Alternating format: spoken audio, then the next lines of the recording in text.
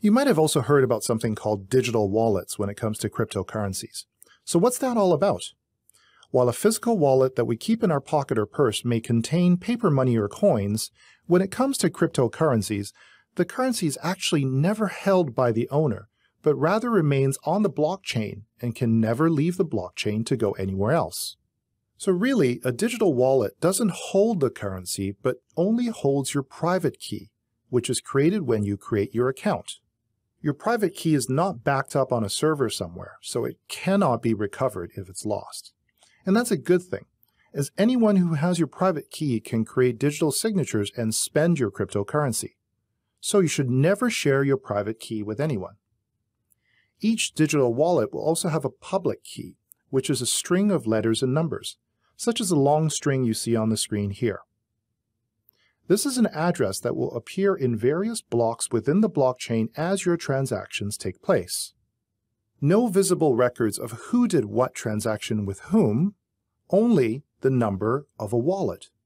So in theory, while the owner of an address is unknown, it is possible to trace transactions on a blockchain by the public key.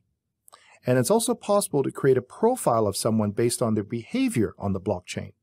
Hence, cryptocurrencies are not truly anonymous, but rather pseudonymous.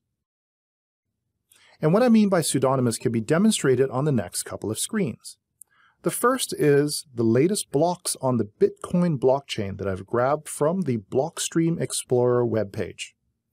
As Bitcoin and cryptocurrencies are decentralized ledgers, it should be no surprise that anyone can see every block on this permissionless blockchain ever since its inception. I've chosen to pull up a transaction from block 693122. The second one from the top, if you ever feel like pulling up the same transaction. You can see that the holder of roughly 10.105 bitcoins has decided to pay the public key ending in 91M 5 BTC, which is the shortcode for Bitcoin. The holder, whose public key ends in 4K9, now only has 5.102 bitcoins left after paying the transaction fee. So while the identities of 91M and 4K9 are not known, you can follow the trail of BTC as it moves from each of these holders. By examining every transaction that a holder engages in, it's possible to form a picture of the holder. And it's this methodology that law enforcement use to track cryptocurrency transactions up and down the blockchain. So what might some of these digital wallets look like? Well, the first type is mobile. This is an app that runs and stores your private keys for your cryptocurrencies on your smartphone, allowing ease of access to pay for goods or services, trade, and buy crypto directly from your phone. The downside of a mobile wallet is threefold. Number one is fraud. There are lots of scams and counterfeit wallet apps that try to steal your private keys.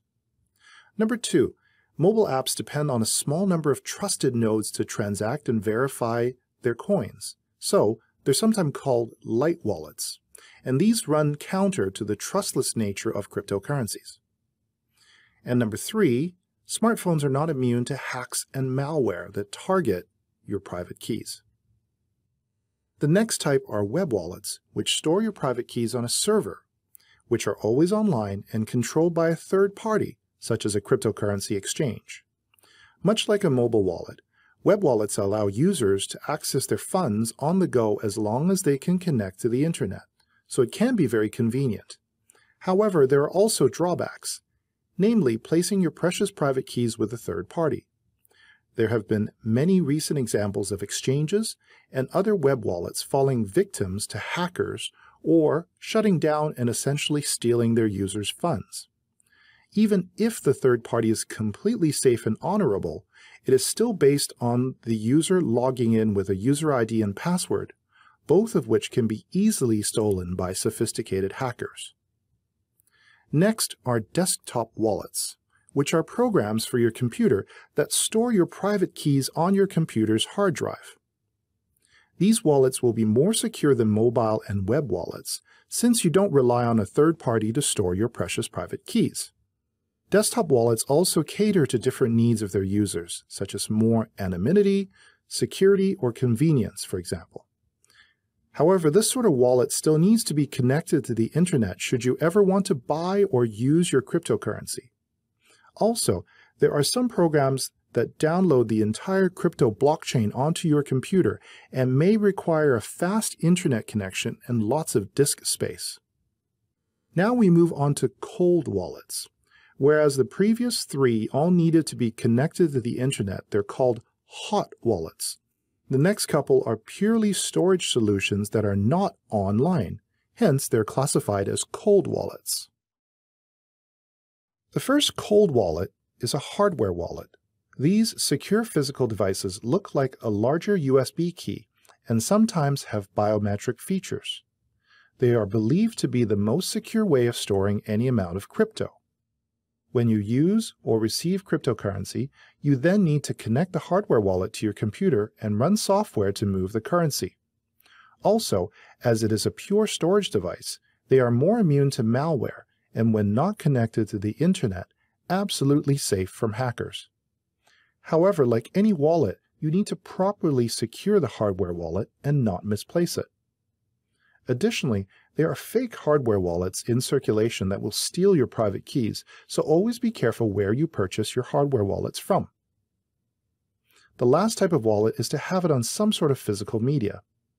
While in the early days we did see physical digital coins that could be preloaded with cryptocurrency, these forms are not often seen nowadays except on stock photos. What is the most hacker-proof is to have your private key on a physical document that is completely offline. These can be printed as QR codes so you can quickly scan them into a hot wallet to make a transaction. Once on a physical document, the important part is to safely store that document. For instance, in a dry, safe place like a safety deposit box. Regardless of which wallet you may choose, it's important to make sure you remember your user ID and password to access your private key. The most famous cautionary tale is that of Stefan Thomas, a German-born programmer living in San Francisco. He stored the private keys to just a little over 7,000 Bitcoin on a physical wallet called an IronKey. Unfortunately, for Mr. Thomas, he lost the password he used for his IronKey and has used up 8 out of the 10 chances an IronKey user gets before it locks up and encrypts the contents on the drive forever. Please feel free to check what 7002 Bitcoin is worth when you're taking this course, but at the time of this writing, Mr. Thomas has two more guesses before he loses 275 million US dollars worth of Bitcoin forever.